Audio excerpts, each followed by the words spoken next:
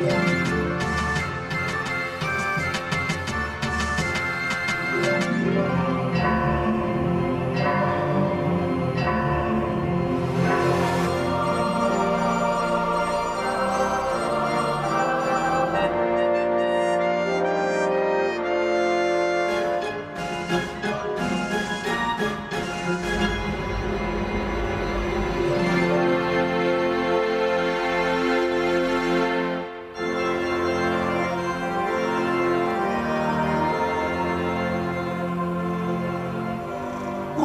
working life, really, I've been involved with church towers and steeples.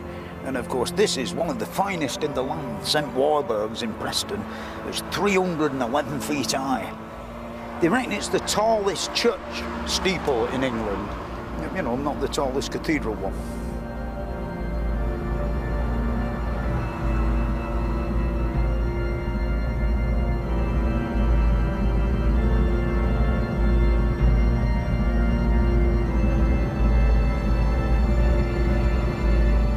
A beautiful needle point, the big nut and bolt in top, holding top on, otherwise it'd blow away in the wind. And I think really, I'm getting to the end of my days as a steeplejack, know, I think it may be the last big steeple I'll ever mend.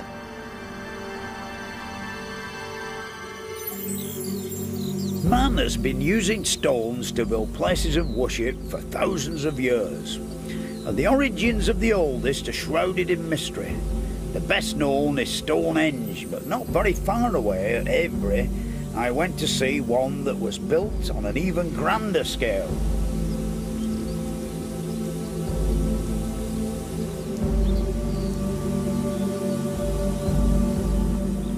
This is one of the oldest megalithic monuments in Europe. It's even older than Stonehenge. It were developed, so they say, somewhere around about 2500 to 2200 BC. The whole site covers a vast area, you know, I mean, you can actually see some of the earliest examples of building and construction work in all of Great Britain. And this great trench covers three quarters of a mile and 15 feet deep. I mean, it's one heck of, a, of a, an achievement, isn't it, for four and a half thousand years old, eh?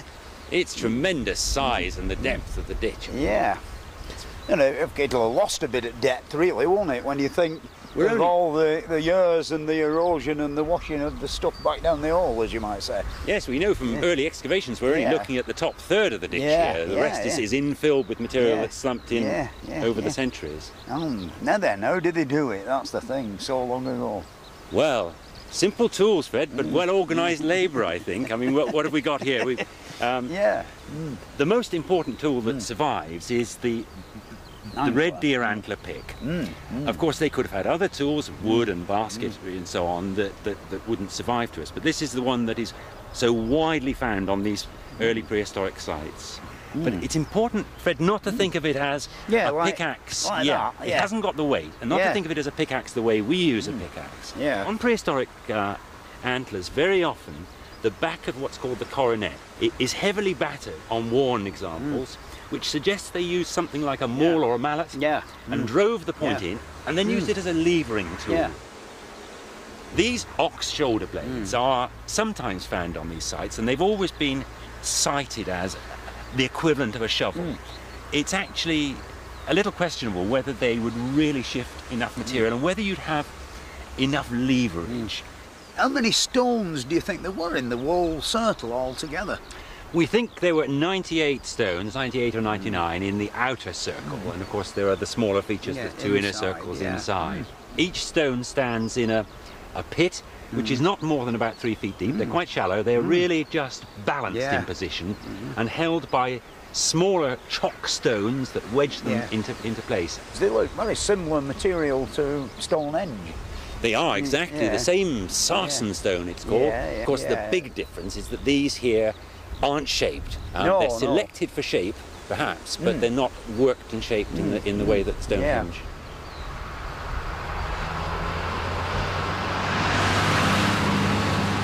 Yeah, Is there like any estimate at all of how many men were involved in this operation? It's very difficult to estimate because we don't know the length of time that the completion of uh, the digging of a monument like this took, Fred. I mean, we can't define it to say less than 100 years or something. Yeah, yeah. Yeah, there's no written record at all in any way, shape or form. Not at all. Nothing. Not at all. Yeah. They just left us with this big circular trench. Mystery. Avebury has been an important place of worship for nearly four and a half millennia.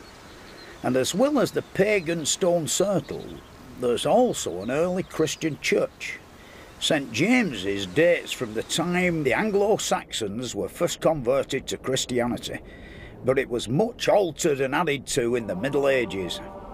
It's quite rare to find one that's remained completely unaltered. To see one of the few that remain, I travelled all the way up to Escombe near Bishop Auckland in County Durham. This Saxon church at Escombe is one of the oldest churches in all of Great Britain. And it was built from the remains of an abandoned Roman fort at Binchester, somewhere, you know, in the locality. No one really knows who built it, how long ago it was built, and why it was built in this particular spot.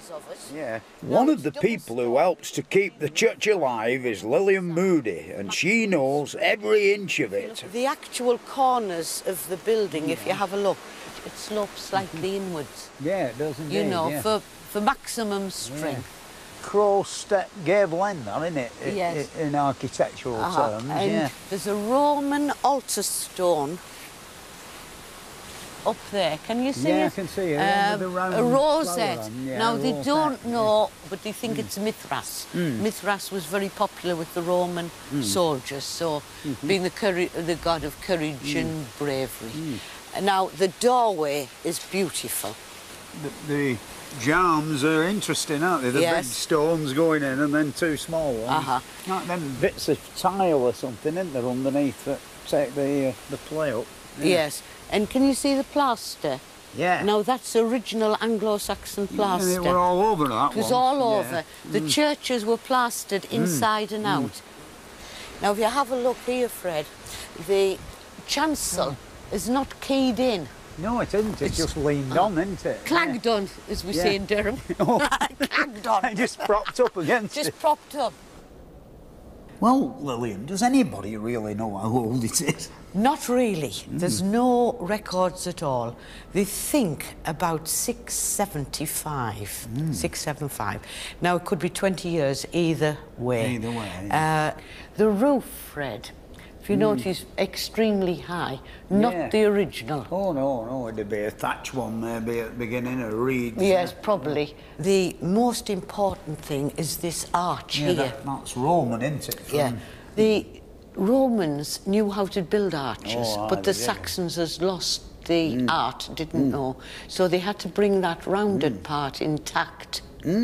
Now that, the, where it's a rectangular cut, the Romans used that to hmm. put this tool in called a hmm. Lewis to Yeah, lift the stone. up, yeah. Now the Saxons didn't know why. The Romans were more advanced then than the Saxons. I mean, really and truly, they were marvellous engineers hmm. when you think of what oh, they've done. And it wasn't until the Middle Ages that the great engineering skills began to appear. I went to see Chester Cathedral, where most of the building work was done between the 11th and 15th centuries.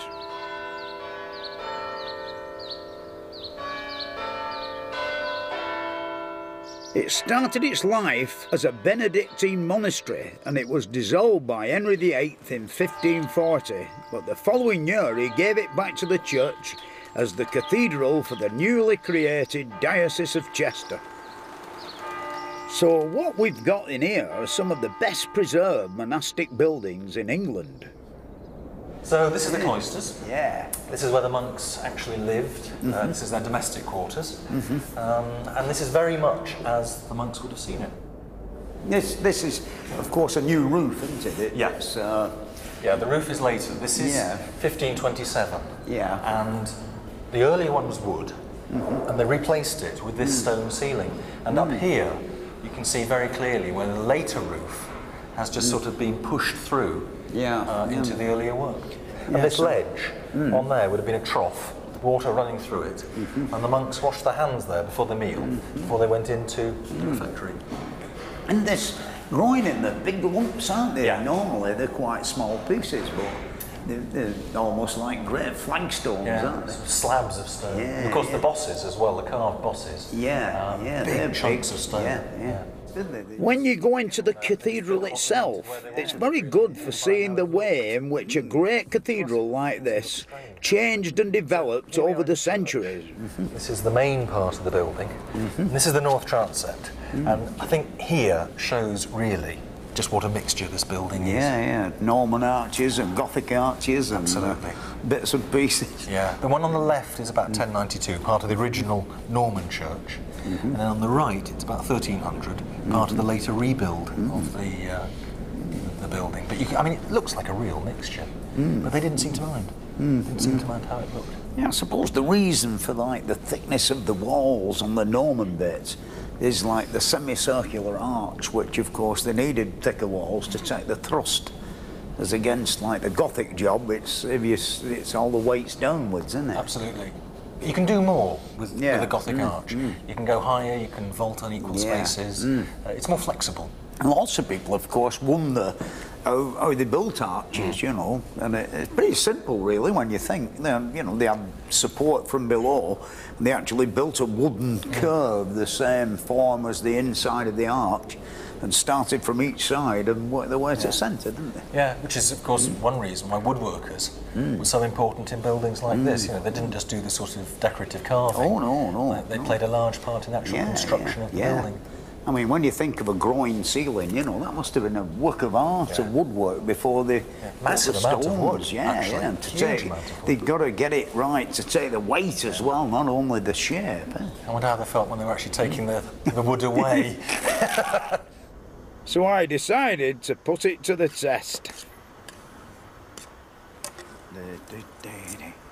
Right, this is a demonstration of uh, building an arch. Like arches really have been around for thousands of years, you know, and the, the earliest ones, uh, they actually used earth for the centering.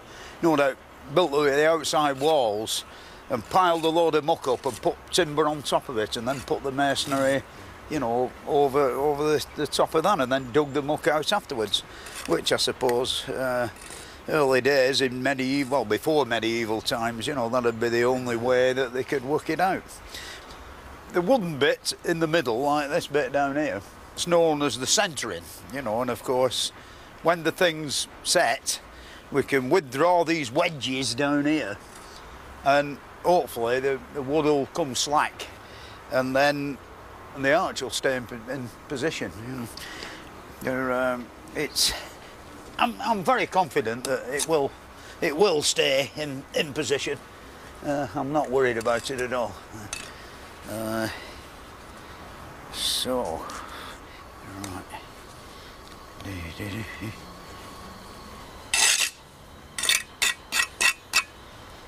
Hmm. Well, that's what all good bricklayers do at brew time. I'm off now. We'll come back after lunch and take the middle out. The Middle Ages was the great age of cathedral building, and they've left us with some magnificent monuments to the skills of the, the medieval builders and the stonemasons. One of the grandest of them all is York Minster, and it was started in 1220 and it took 250 years to complete. One of the great engineering advances of the time was the introduction of the flying buttress. This was an half arch which transmitted the thrust of the roof from the upper part of the wall onto an outer support.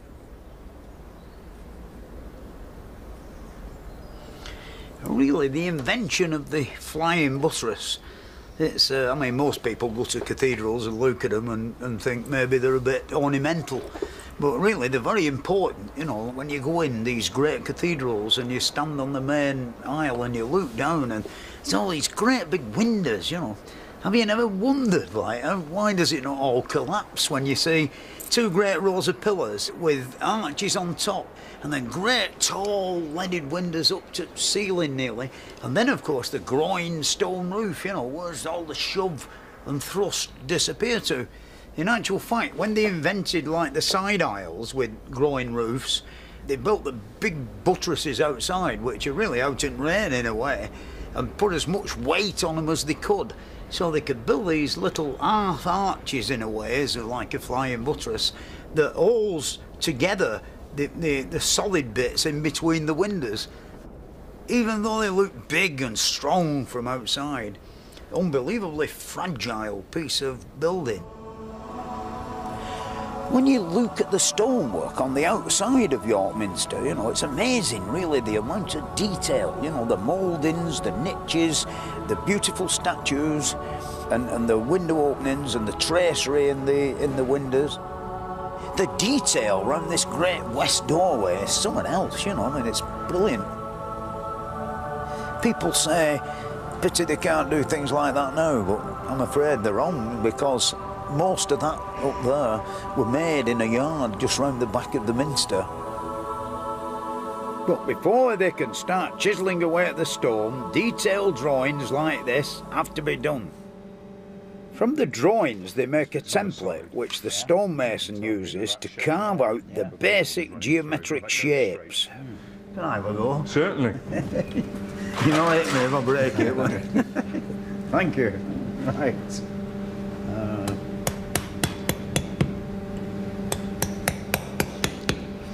you reckon Michelangelo, you know, he could shift more rock in a day than, than two normal men, you know.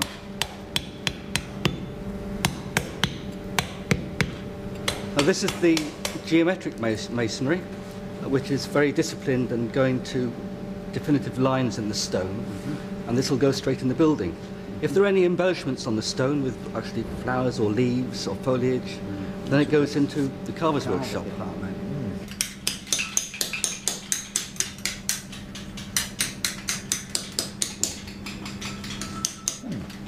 Now then, good afternoon, Martin. Howdy. Yeah, I can see now the, the three stages of making them beautiful leaves that are on this side. Um, yeah, it must take a long time. How long does it take you to do like three leaves? Well, it's probably about another week's Yeah, work left in there, that. It's yeah, probably a couple yeah. of weeks in, in our Yeah, when people walk by York Minster, they don't appreciate all that Mm. great effort that's gone into it, do they? Yeah, how- how do you go about making these hollowed out? Like, you know, a heck of a tricky operation with such delicacy, isn't it, really? Well, once the, the form of the leaves shaped, you Yeah. Actually know where all the reference points are, and then you can begin to dig behind with the smaller Yeah. Mm. chisels. And sometimes to get behind there, you can use a drill as well. Yeah, yeah. When it's finished, it will go into the southwest door.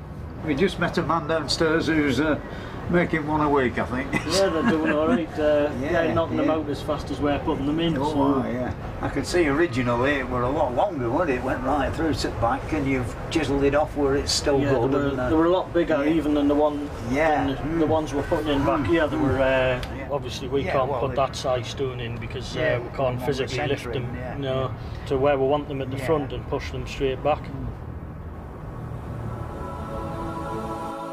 Well, this is it, the great moment. We're now going to strike the arch. You know, it's had an hour or two for settle down. Um, it is still a bit green, but somehow or other, I don't think we'll have any bother.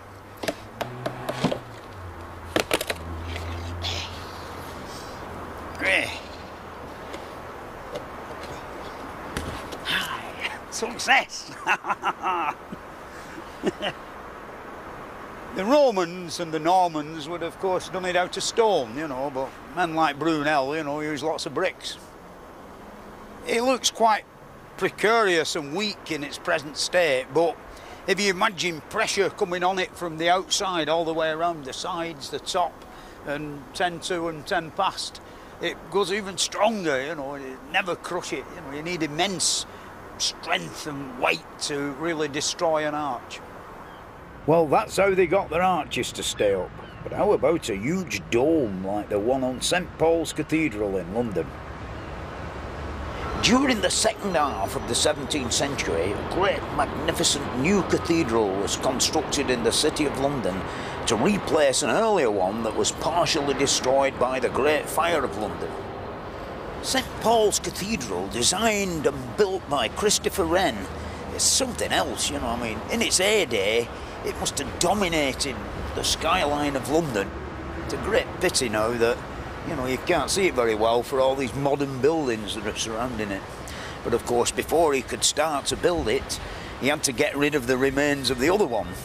And believe it or not, he tried explosives, but he upset the neighbours, so they, they had to resort to a battering ram to get rid of the remains. During the 35 years it took to construct it, Wren engaged the finest craftsmen and the best materials. He supervised all the bookkeeping and everything. And every Saturday he came down to have a see how things were going. And later on, when they got quite high up, he was craned up in a basket to the top to survey the dome and all its goings on. The sections that carried uh, staircases. Martin Fletcher is the clerk of works and he is responsible for the upkeep of the wall structure. You know, it was all about the Yeah. embellishment of, of stonework.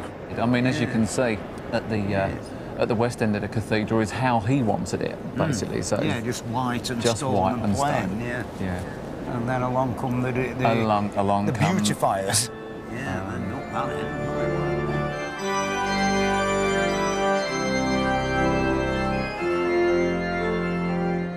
this mosaic work was only done at the end of the 19th century, and it's very different from the plain unadorned white that Wren had intended.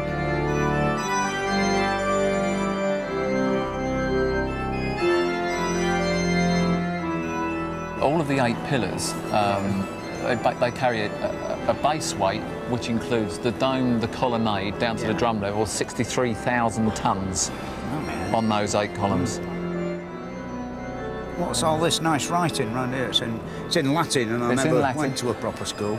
Well, you and me both. um, but the whole thing about it is, um, it actually says if you want to see a monument to Christopher Wren, just look around you, Yeah, yeah. in layman's terms. Yeah, that's a true That's fact, isn't it?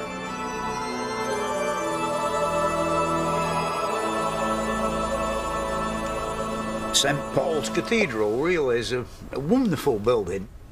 I mean, when you stand there in London and look at it, you imagine it's just a big dome, you know, but it isn't really. There, there are actually three domes. When you stood down in the bottom, you can see a beautiful dome, all nicely painted and everything when you look upwards. But on top side of that, there's a big cone that's holds up the lantern on the top. And then stuck to the outside of that, there's the a load of timber roof trusses that hold yet one more dome, which of course has got the lead on top of it. These stone corbels are, you know, support the framework on, on this great cone, which is perfectly straight. You can see we're just looking at that. The greatest area of thrust of the whole lot is here on top of these pillars. But with all this pressure, how do you stop the whole thing pushing out on itself and collapsing? Wren came up with an ingenious solution. He put a great wrought iron chain all around the dome and sunk it into a band of stone that went all round the perimeter. And then, of course, led it in as well by bucketfuls and uh, ladles full of molten lead. Which, when you think back to 17 odds, you know, the, the methods of melting lead wouldn't have been quite as good as what they are today. You can imagine a little lad with a pig's bladder and some, you know, furiously pumping uh, some bit of a coke fire, a charcoal crucible stuck on top of it full of lead, and then they would pour it in, and of course they, they it would set, and the the next lot wouldn't adhere to the other lot, and this has been really part of its downfall. At present, they're doing some repair work to the chain and to the masonry around it, but even now you don't see much of the chain. All you can see of it are the bits that they've got exposed in the section that they're working on. This is it then. That's This is the chain, mate. Yeah. Basically, what they did was come up to this height. Yeah. They cut a chase in all the way round, 150 metres round. Then the chain was forged, pockets were dropped in for the couplings on there, and above every column, around going all the way round, you have those two knuckles on there, which are cramps, and it's like a fork. Yeah. and that goes right the way back to the base of the cone where you've got another two chains. So that's your restraint that holds that out. What we're doing here is what's happened over a period of years is where they used to pour the lead. Because it hits this fairly cold, it laminates. So any moisture has got into the chain. And as you, as, I mean, as you know, you know, you get a little bit of a rust pickup on there, swells up, blows the stone out of the front, um, resulting in these um, massive fractures that we get on here. When you think how old St Paul's is, it's a credit to Christopher Wren. I mean, the architecture and the engineering involved in it are something else. It's interesting that over the centuries, a lot of our best architects, builders, and craftsmen have reserved their finest work for places of worship. And they didn't just save it for churches that are as grand or as old as St Paul's. This is St Margaret's Church at Bodelwyddan, near Rhyl in North Wales. And I've always greatly admired it. You know, number one, they call it the Marble Church because of all the different types of marble that have been used in the interior decoration of it. Altogether, there are 14 different varieties of marble in this church, and there's an amazing richness of craftsmanship throughout the whole place. Just look at the quality of the carvings and the stained glass.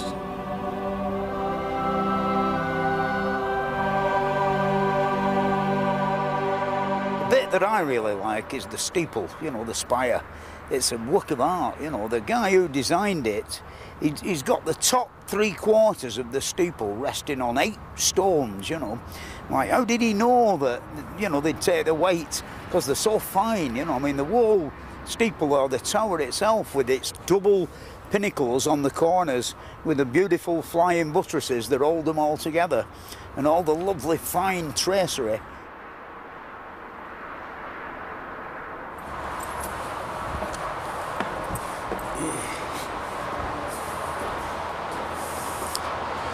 Ever since I passed by here years and years and years ago, I stopped one day and had a look at it, you know, beautiful steeple. You know, I always wanted to have a closer look and get inside like where we are now. It's really interesting because you can see the eight stones up above that takes the weight of the top three quarters of the steeple. And if you look right up to the top, you can see the iron cross tree in the top that the great nut and bolt comes through to hold the top on the steeple. I think I'll go outside now and have a look round on the uh, veranda. Yeah, you can actually see the lovely curve of the barrel shape of the steeple. You know, when you're half a mile up the road, it looks perfectly straight. It's actually barrel shaped, like a barrel of beer. These lovely pinnacles on the corners with the slender supports, you know, fretworked out, and the flying buttresses that join one to the other. Uh, lovely bit of stonework, really.